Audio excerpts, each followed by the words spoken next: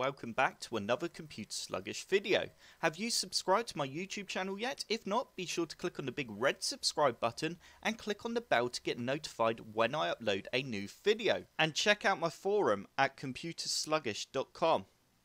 In today's video, I will be showing you how to install and set up LibreOffice on Windows 10. To start off with, first you need to click on the link that's in the description below and you will end up on a page that looks like this.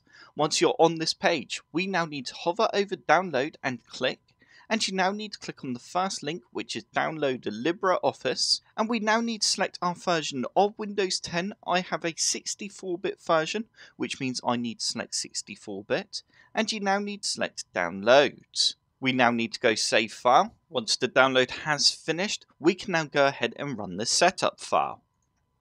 You now need to press OK, and we now need to go next.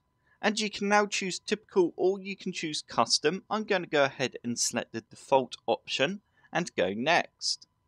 You can now choose if you'd like to create a shortcut. I'm happy with that, which means I'm going to go install now.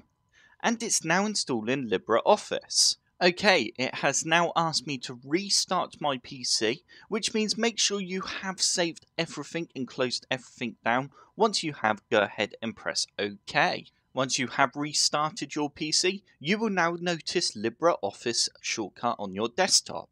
We now need to open up this shortcut, and you will now end up with a window that looks like this.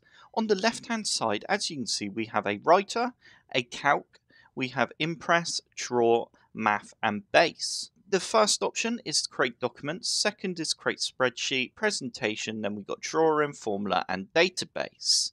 As you can see, these are all fantastic alternatives to Microsoft Office. LibreOffice is really good and I do recommend you give it a try. I'm going to go ahead and open up a spreadsheet. Also, all the formats in this program are compatible with Microsoft Office as well, and you can open up Microsoft Office documents in the spreadsheet or document or whatever option you choose presentation.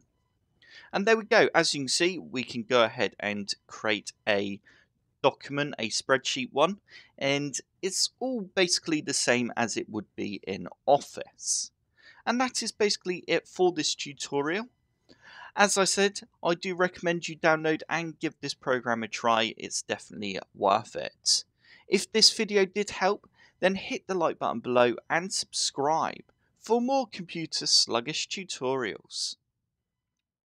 Don't forget to check out my social media channels and forum.